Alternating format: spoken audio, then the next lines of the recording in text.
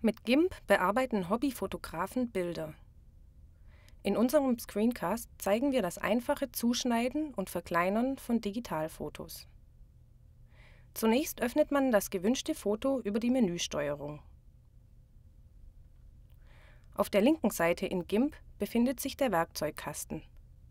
Die einzelnen Werkzeuge wählt man per Mausklick aus. Für das Zuschneiden eines Bildes klickt man die rechteckige Auswahl an. Mit dem Cursor wählt man einen beliebigen Ausschnitt aus und wählt unter dem Menüpunkt Bild die Option auf Auswahl Zuschneiden. Bei Bedarf macht man vollzogene Arbeitsschritte mit einem Klick wieder rückgängig.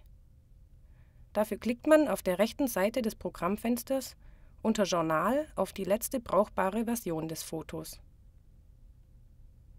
Die Bildgröße ändert man ebenfalls unter dem Menüpunkt Bild. Hier wählt man Bild skalieren aus und verkleinert das Bild entweder auf eine bestimmte Pixelzahl oder legt eine prozentuale Größe des Originals fest. Die Werte verändert man per Schieberegler oder gibt die Zahlen per Hand ein. Mit einem Klick auf Skalieren ändert GIMP die Bildgröße.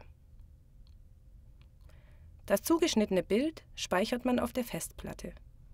Unter Ordner Browser ändert man bei Bedarf den Speicherort. Unter Dateityp legt man das Bildformat fest